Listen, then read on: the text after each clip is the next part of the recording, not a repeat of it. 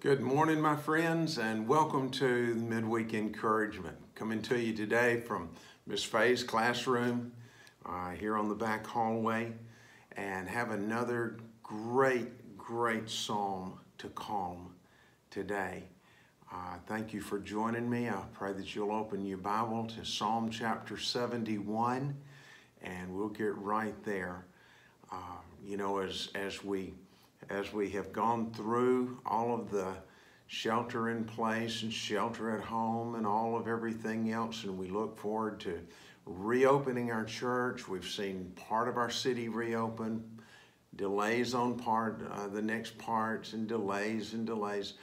And but isn't it great to know that God's word still stands firm? And so we're looking forward to uh, having our having our our worship services reopened on July 5. And uh, so looking forward to seeing you in person on July 5 if you feel comfortable and confident in coming.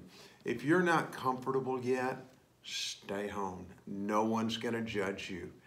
Uh, you you build your confidence in the Lord. You build your confidence uh, through your family and you do what is needful and what will work for you. Okay? And that will be wonderful. Um, let's read Psalm uh, out of Psalm 71. We're going to read the first nine verses, okay? In you, Lord, I've taken refuge. Let me never be put to shame. In your righteousness, rescue me, deliver me. Turn your ear to me and save me. Be my rock of refuge, to whom I can always go. Give the command to save me, because you're my rock and my fortress.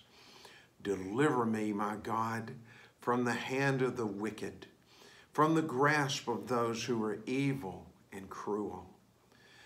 Since, uh, because you've been my hope, sovereign Lord, my confidence since my youth. From my birth, I've relied on you.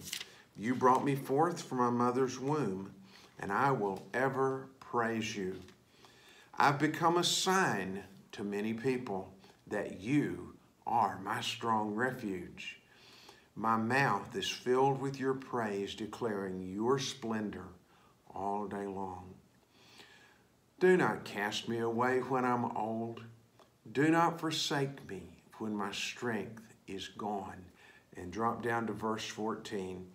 As for me, I will always have hope.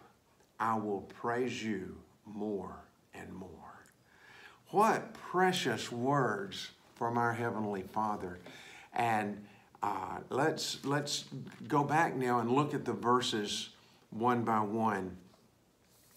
When the uh, God, God is our hope. When the whole world and all that's going on seems completely hopeless, we have confidence that God is still on his throne. And as long as he is in control, we have hope. P.S.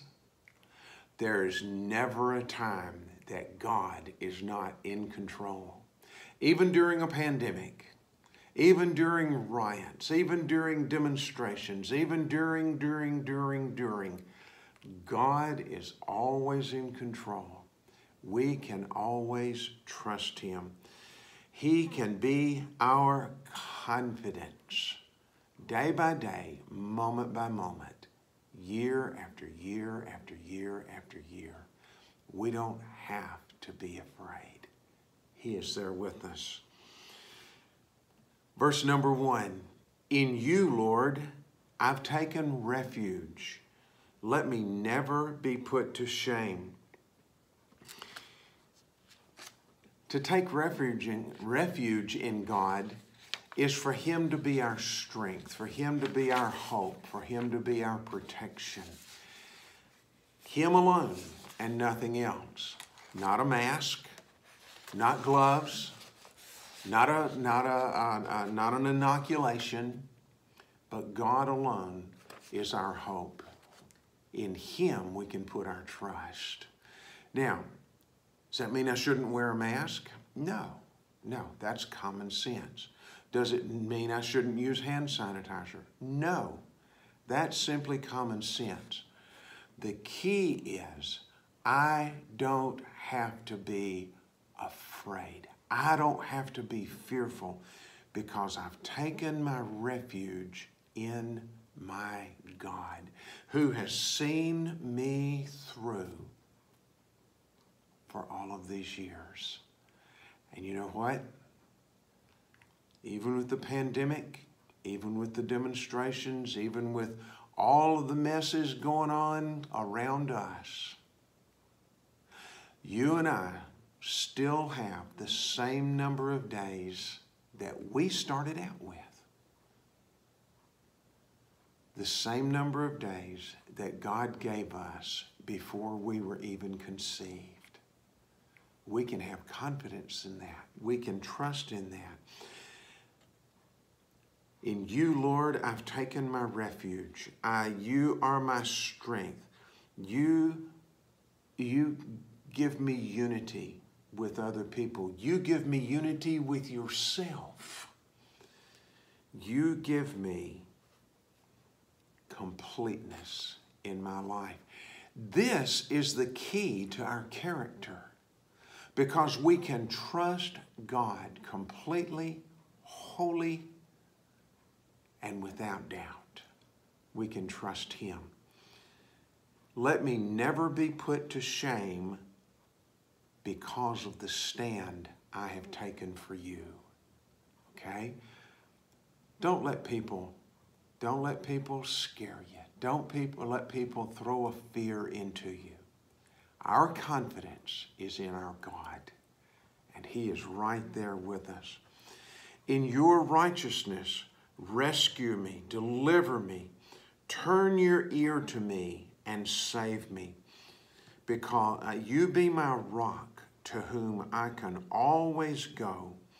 Give me the command, I give the command to save me. And God is willing to do that. He's willing to be our strong tower. He's willing to be our fortress, a strong refuge. King James says a habitation where I can always resort to, where I can always go. I can always have confidence that God's doors to His fortress of His protection are always, always, always open to us. This is a, this is a fortress which is close at hand, where I can always go. Be my rock of refuge to which I can always go. The door is always open. All we have to do is come in. Deliver me, my God. Deliver me, my God, from the hand of the wicked, from the grasp of those who are evil and cruel. You see, God is able to deliver us from the hand of the wicked, the evil, and the cruel, whether they're human or whether they're viral. We don't have to be afraid. We can trust God. We can move on with our lives for His sake, for His glory. Verse number five For you've been my hope, sovereign Lord, my confidence since my youth. You know, as we get older, our bodies get a little more frail. And we tend, we tend sometimes to lose hope in our God. We tend to lose confidence in our hope. When we're watching television, we're listening to the newscast, and we're listening to the, the naysayers, and we're listening to the, uh, all of the, the fear mongers. Okay, let's just let's just call it what it is. It's fear mongering. It's designed to make us too scared to live. And yet then we get afraid to die. God God's not in on either end of that stick. God wants us to have confidence in Him.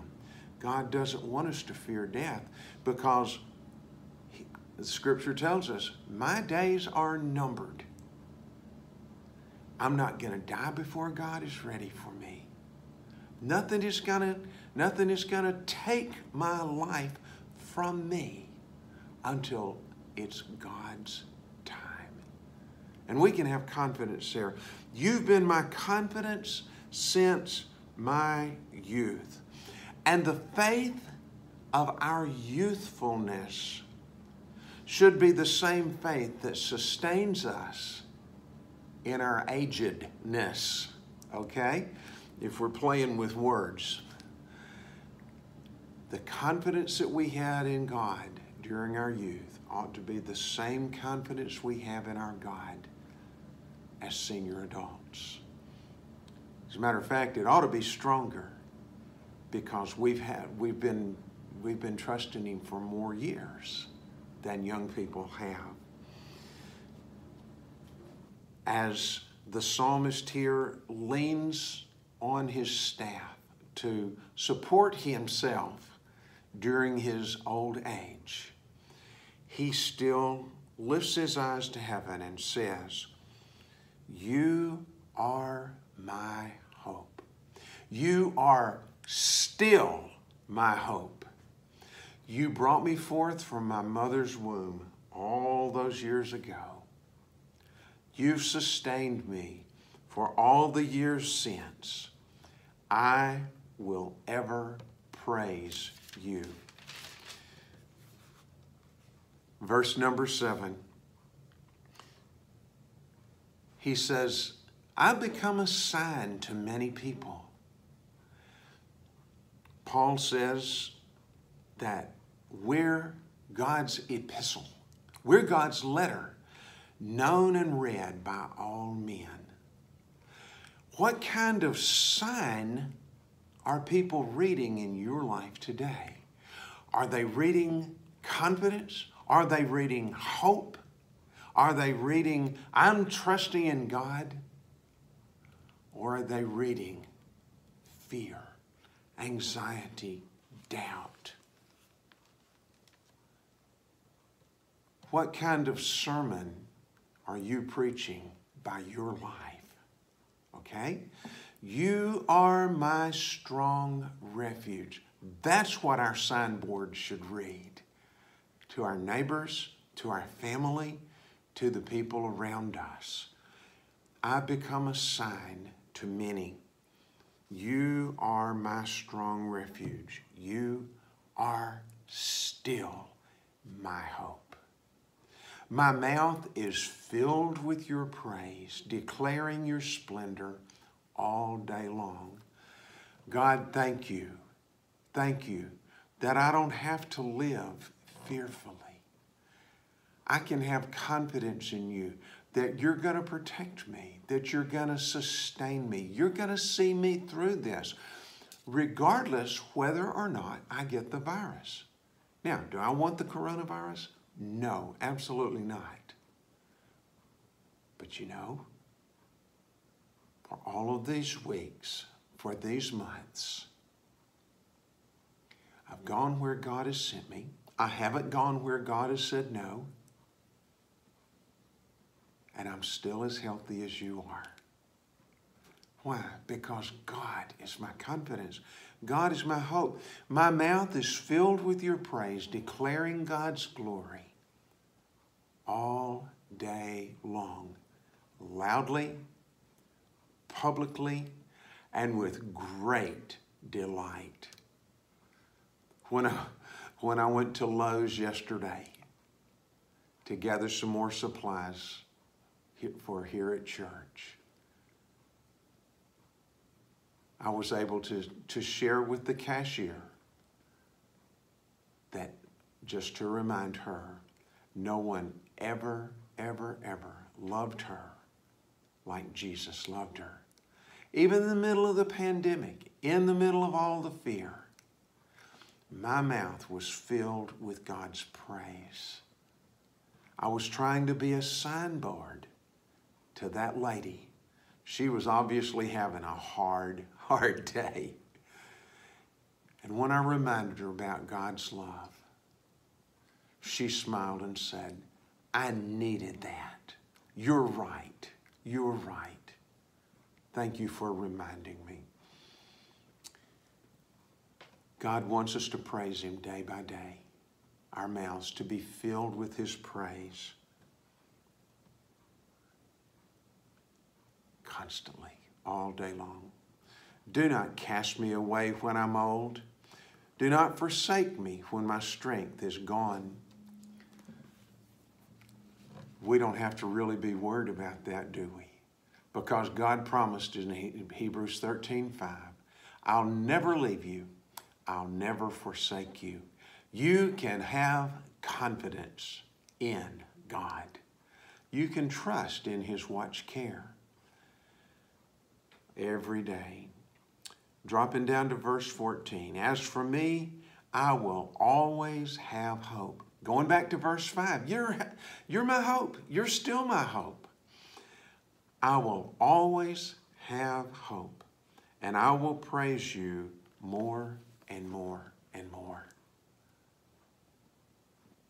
As long as we're alive, we can have hope in God. As long as we're alive, we can praise God day by day, moment by moment. We can trust Him because He is still our hope.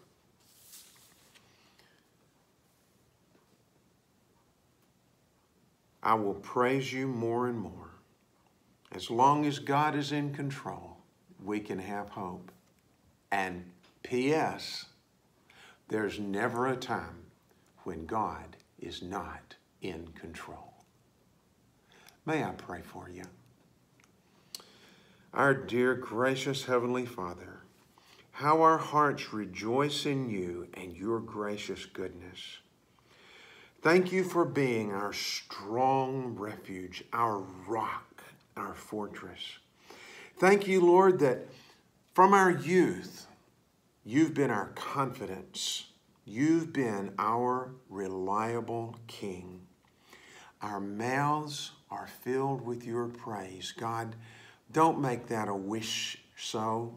Don't make that a wish for. Make that a no so. Make that real in our lives. Thank you for watching over us during the pandemic. Please continue to protect us from wicked, cruel, and evil, whether it's human or whether it's viral, whether we can see it or whether we can't. May we live for you in such a way that pe people will see us as a signboard pointing to you as our strong refuge, as a signboard that you want to be their strong refuge if they will just call out to you. We praise you, dear Lord. Thank you. In Jesus' name we ask. Amen. Thanks again for joining us today. Have a great and godly day.